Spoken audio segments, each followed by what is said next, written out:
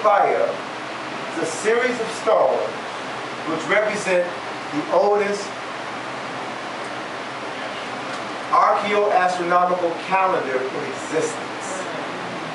This calendar is oriented to the heliacal rising of Sirius 6500 BC. Created by African people who traveled from West Africa into the Nile Valley. And it is Bauval's theory that it was these Africans who probably jump-started Nile Valley civilization. Because Kemet just kind of springs into existence full-blown with writing, with science, with architecture, with engineering. And he's been able to prove that in the Western Desert, we find the beginnings of all of these things.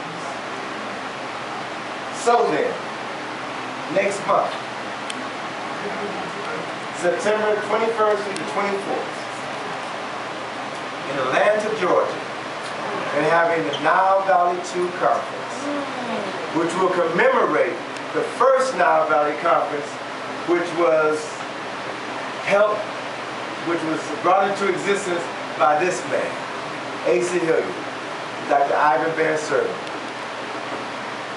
When Asa died four years ago, they held his funeral at uh, the King Chapel the campus of Morehouse.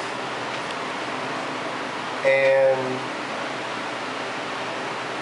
gosh, I'm thinking on his name right now. I'm thinking on his name. Um, help me out. He's got the church right off 95th Street.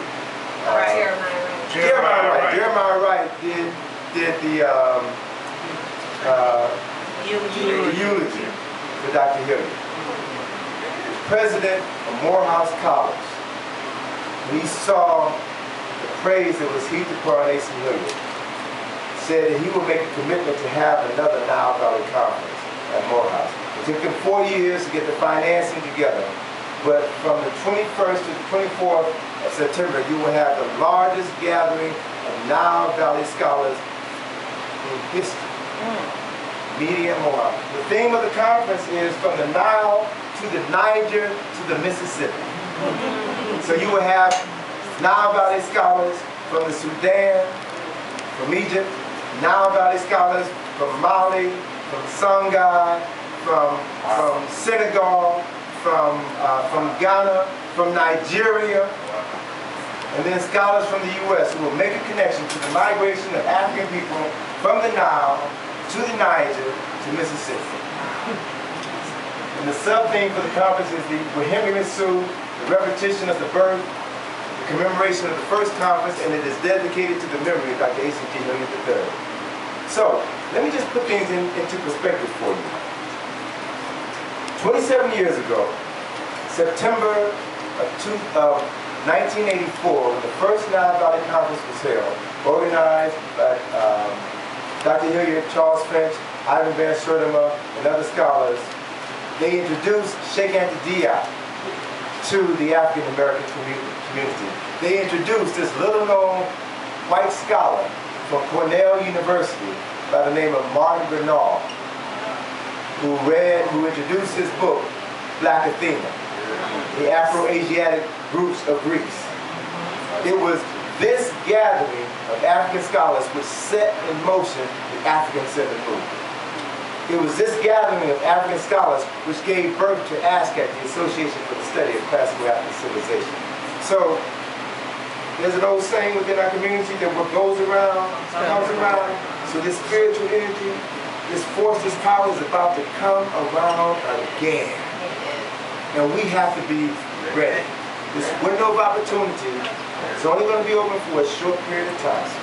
We need as many African people with their African minds on tight to prepare themselves to reclaim our knowledge before it's too late. Before it's too late. So you all need to come to the conference. We're going to document that African excellence and leadership are the norm, not the exception. This is what we've always done. We're thinkers. We're builders. We're doers. We demonstrated that when we developed civilization, now River Valley. We demonstrated that when our ancestors were enslaved and built Washington, D.C and many cities throughout the United States. We demonstrated that several years ago when we elected a new king D.C. So we need to begin to understand some connections. We need to begin to understand what time it is and what it is that we must do because time is running out. We need to understand very clearly as I, as I close that we are the vessels through which our ancestors speak and do their best work. So we must prepare our minds and our bodies to receive their spirits so that they can talk to us, so that they can move through us, so that we can complete the work that they were born here on earth to do. So with that, I'm done. Thank you.